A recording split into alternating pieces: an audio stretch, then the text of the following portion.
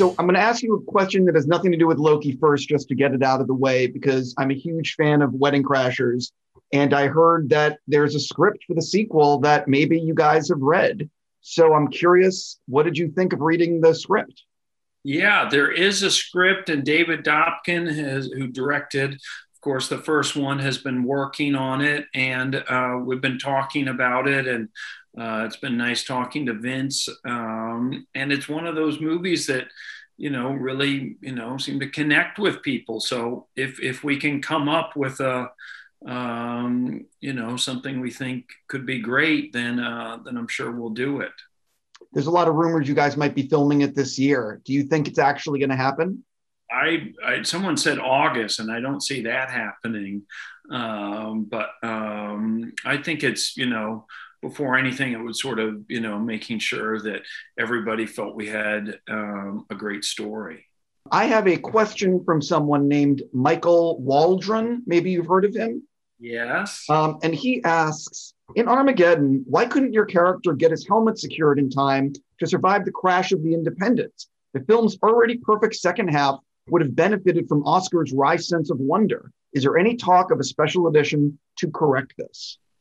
Yes. Um, well, I, it would have been nice for Oscar um, to uh, to have you know made it a little bit further. At that point in my career, I was, uh, you know, I seldom made it to the third act. You know, Anaconda, I didn't even make it to the middle of the second.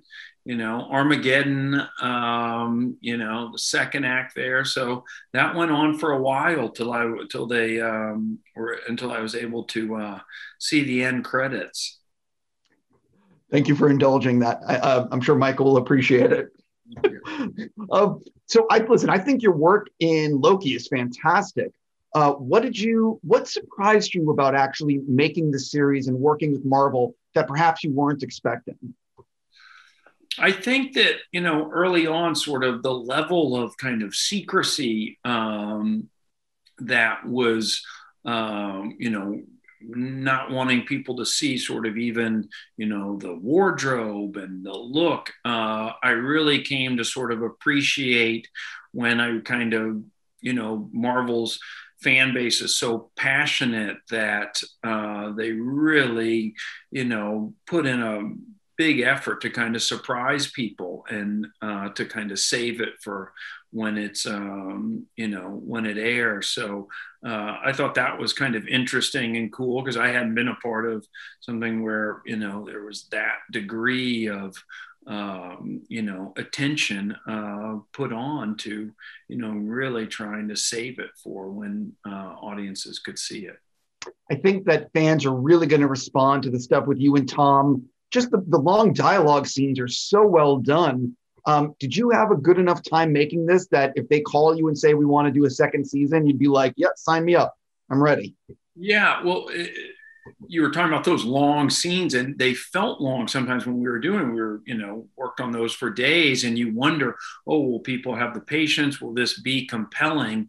You know, seeing two people just sort of, you know, sit across from one another. But um, it seems like they turned out well, and uh, I, I, had a great time working on it.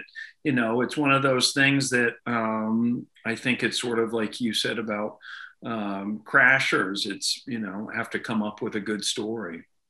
I already got to stop there. And I'm just going to say, seriously, you did great work on this series, and fans are going to love it. Thank you.